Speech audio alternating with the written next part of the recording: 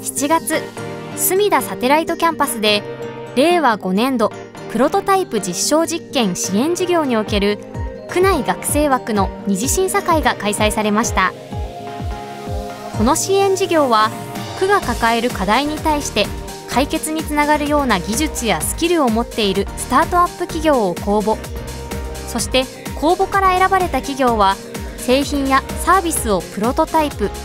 つまり試作段階から積極的に活用し地域課題の解決を図っていくものです。この日は区内学生枠でエントリーされた8社から一次審査を通過した3社による二次審査会で自社の製品やサービスを短時間でプレゼンテーションする形ピッチ形式で行われます。審査委員は墨田区産業観光部担当者と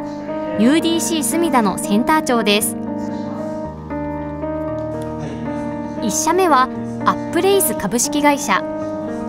夢を持つ小学生の挑戦を区内企業などと協力しながら伴走支援する小学生スタートアッププロジェクトや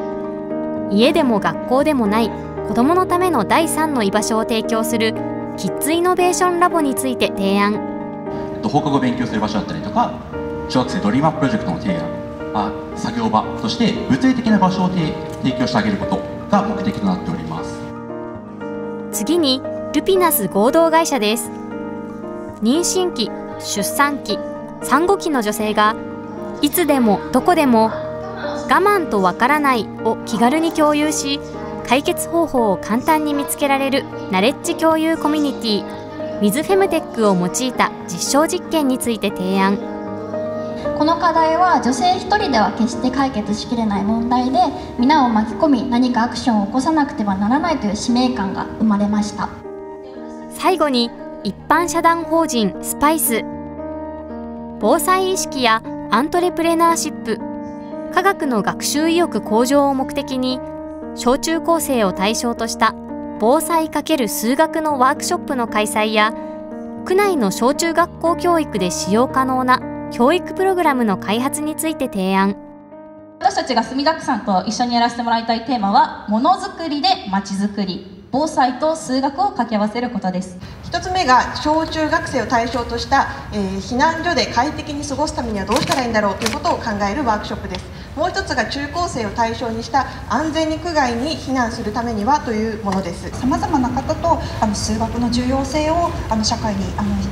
広めていきたいなというふうに考えております。審査結果が出ました。最優秀賞は一般社団法人スパイスです。おめでとうございます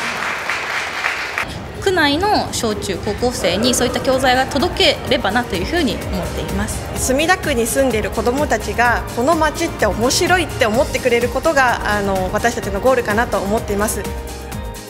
さまざまな思いを提案した若き挑戦者たち。その思いを実現することが隅田の課題解決へとつながっていくことでしょう